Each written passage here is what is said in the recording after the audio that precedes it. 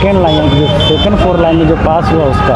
Pillar का जो ढलैया हो चुके हैं, दो पिलर है, जिसका रिया वो बाहर आ चुका है, जिसका काम लगा हुआ है।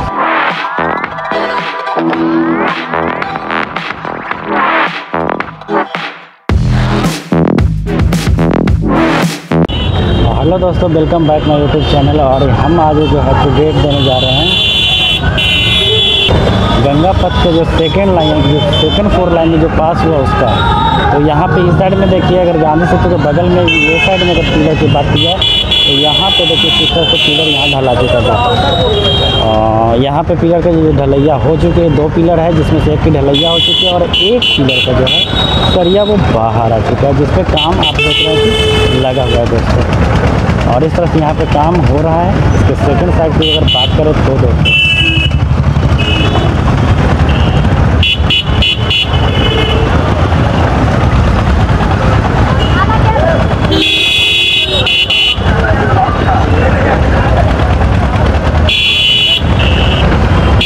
और उसी के आगे जब आप बढ़ते हैं तो यहाँ पे भी देखिए, कई पिलरें आपको ढलाई के रूप में दिखाई देने वाले हैं। तो कितने सारे पिलर यहाँ पे देखिए ढला गए हैं।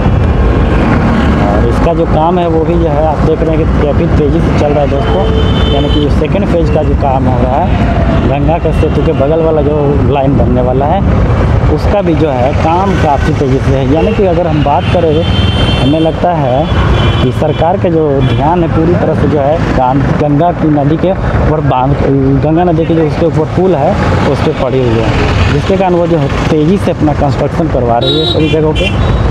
और आप देख पा रहे होंगे इस तरह से काफ़ी तेज़ी से यहाँ पे कंस्ट्रक्शन वगैरह चल रहा है दोस्तों। और हर जगह पे मशीन वगैरह भी गिरा हुआ है और इस तरह से यहाँ पे काम दोस्तों चल रहा है। और यहाँ पे भी देखिए, इतने सारे जो है मशीन्स वगैरह आपको देखने के लिए मिल रहा होगा। यहाँ पे पाइलिंग का मशीन है जो कि पाइलिंग करता है और फाइनली उसको